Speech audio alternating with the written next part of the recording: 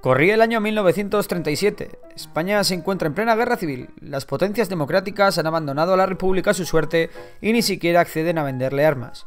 Tan solo Stalin, con la maquinaria soviética detrás, ha accedido a vender armas a la República. La influencia comunista se extiende por el territorio republicano y apenas queda rastro de la moderna democracia que un día fue. El gobierno republicano, presidido por Francisco Largo Caballero, ha trasladado el gobierno de Madrid a Valencia y el 6 de enero de 1937 se acerca.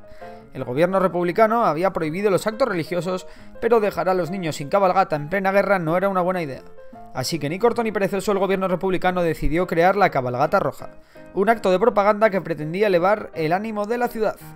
La cabalgata solo se llevó a cabo en 1937 y fue organizada por un comunista, Jesús Hernández Tomás, lo que le dio un aura muy soviético. La cabalgata la abrió una sección de la Guardia Municipal en motos y traje de gala. A continuación le seguiría un gran busto de Largo Caballero, presidente de la República. También se pudo ver la bandera de la República escoltada por 70 milicianos, así como una carroza de homenaje a Rusia que era un gigantesco soldado, con niños que agradecían a la URSS la ayuda de la República. Y en la cabalgata no faltó una carroza con el gran busto de Joseph Stalin, también se pudo ver una carroza que ridiculizaba al enemigo en la que se podían ver muñecos que representaban a los nacionales. No faltó tampoco la bandera del Partido Comunista, escoltada por un grupo de niños con flores.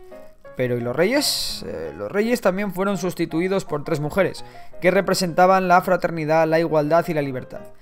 Así que entre vítores de una población entusiasmada con lo que estaba viendo, finalizó la que aseguro ha sido la cabalgata de reyes más rara de la historia. Si te ha gustado el vídeo y quieres ver más vídeos como este sobre curiosidades o historias bélicas, ya sabes que puedes suscribirte al canal y darle a like.